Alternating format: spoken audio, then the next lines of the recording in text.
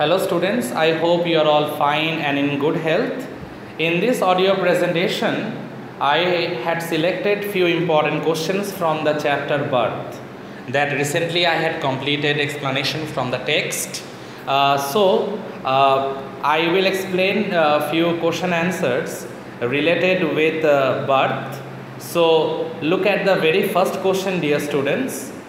What did the elderly midwife think of the young doctor? That means what does the local nurse, that is the elderly midwife, he thought of Andrew? What, what was her impression regarding this young doctor Andrew mentioned?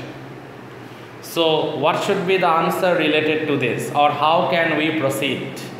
The midwife in the story remains doubtful about the young doctor's success throughout the story because as we go throughout the story, we found out that the midwife he uh, she was not exactly very much confident about Andrew. Uh, she thought that probably Andrew was not experienced enough.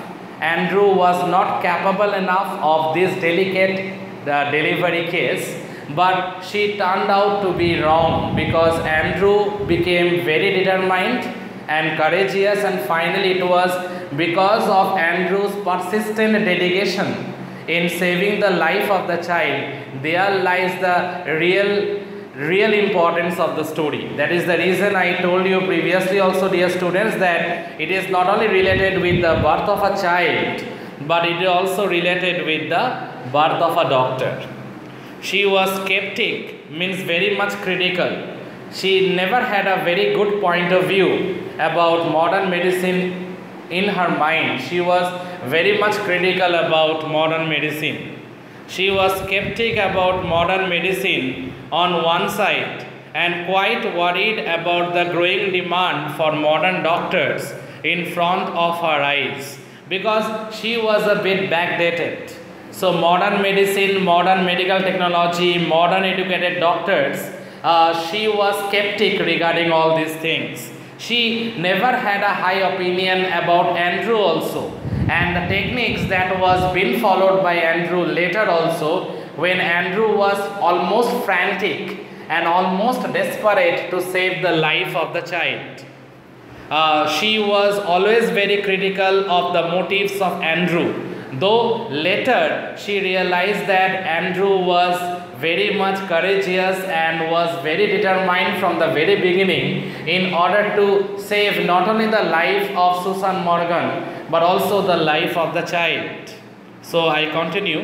She was quite experienced and not ready to accept a change. Now I told you that she was a bit backdated. She never ever was very interested to accept the change at all. She used to follow the old school techniques and methods, but modern medicine had upgraded a lot and she was not in favor of that. She was not in favor of new age doctors, she was not in favor of modern medicines. Okay, because uh, she was a follower of the old school techniques her act of placing the stillborn that is the baby initially when the baby was born the baby was lifeless as you all know by this time.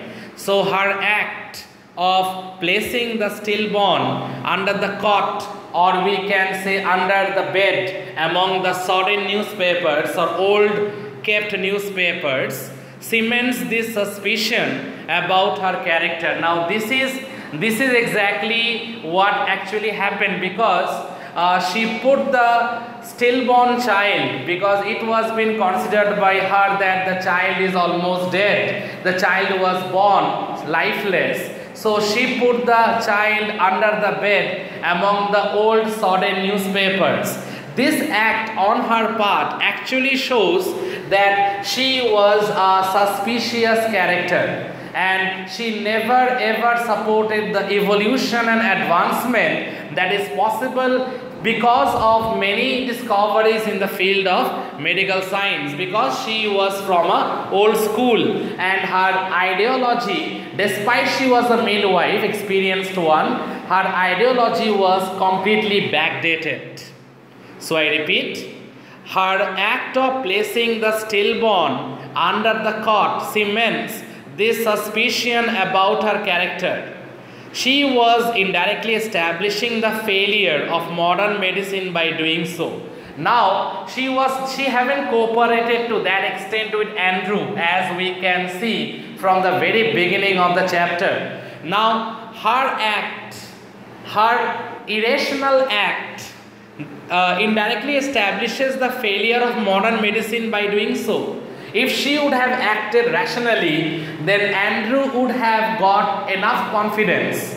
But it seems that Andrew drained out all his energy uh, but successfully saved the life of the child that made her cry later. And later, at the very end, that is the good thing that later at the very end, she got that trust in Andrew. She, she went on trusting Andrew and she realized that Andrew was the right person. Okay, but at the very beginning, she was not very much supportive. Rather, it can be said that she was very much critical regarding modern medicine. Now, dear students, I am moving on to the next question. It's a quotation line. I am reading out the quotation, and here I quote I will not come in, he said, and his voice showed signs of strain. Strain, you can say, or stress. But, man, I know ye will do well for us. Name the speaker. Why is the speaker not intending to in? Okay, now we know what is the name of the speaker. It's actually a line from the text. Sometimes it will be given to you like this. A quoted expression will be given. You have to name the speaker and also you have to elaborately explain the context the context of this particular dialogue or expression. So obviously you know by this time joe morgan the miner is the speaker. Or we can say he was a driller also. Joe morgan a highly anxious husband of the woman who was about to give birth after 20 years of waiting is not prepared to see his wife labor. So he is not intending to go in with the doctor because he loved his wife so much. And it's a critical, very much critical delivery case because his wife Susan Morgan, she is about to give birth to a child almost after 20 years of uh, married life. So it was a very, very delicate case and obviously the child labor pain that his wife is suffering from it was unbearable on his part because he loved his wife so much and that was the reason he was bit anxious or rather to say Joe Morgan was a bit nervous also so he wanted Andrew to get inside and he decided to be outside uh, moving from one end to the other near the courtyard or near the porch of his house. So now dear students, I am moving on to the third question. See, what did Susan, what for did Susan's mother offer to make a cup of tea for Dr. Manson? What was the real reason? Why Susan Morgan's 70 year old mother that I referred at septuagenarian. Now why she decided to offer a cup of tea to Dr. Manson? What was the reason for that? Susan's mother was apprehensive. She feared that Dr. Manson would leave upon an excuse and would not return seeing that the case was complicated. Now, she thought or rather she realized that one way to hold him back, one way by which Andrew can be stayed back in the house, obviously if I prepare a cup of very warm tea and if I serve him, then obviously it will take a lot of time for Andrew to drink that hot tea by that time, Andrew can stay inside the house, and that was actually his her plan. She wanted to buy some time. She wanted Andrew uh, to be in the house. So, in order to uh, hold him back in the house, she decided to prepare a warm cup of tea very warm cup of tea that will take a lot of time for Andrew to sip or to drink. So see this, I repeat, Susan's mother was apprehensive. She feared that Dr. Manson would leave upon an excuse and would not return, seeing that the case was highly complicated.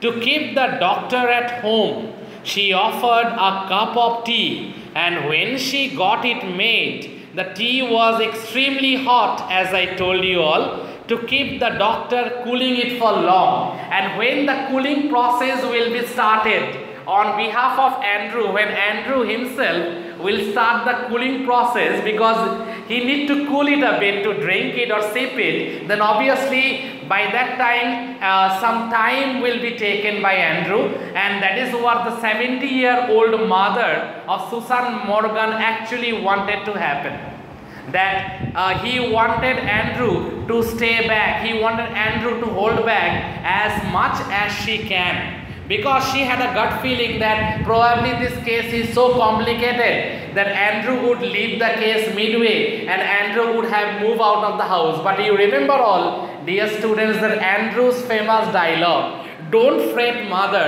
I won't run away. That means don't be frightened mother, I won't leave the case incomplete. I won't run away from this particular delivery case. That shows that despite Andrew was a new doctor, newly recruited one who has started his career as a young doctor working under uh, Dr. Edward Page, but he was no less short of confidence or determination. So I repeat, to keep the doctor at home, she offered a cup of tea and when she got it made, the tea was extremely hot to keep the doctor cooling it for long. Okay, dear students, uh, there are two or rather three more, two more questions or three more questions I have explained after question number 3. 4, 5 and 6 are still there. In my next audio presentation, I will explain the remaining three questions. Till then, please check out the three questions that I, that I had explained and if there is any doubt, do let me know. Thank you students. Thank you all.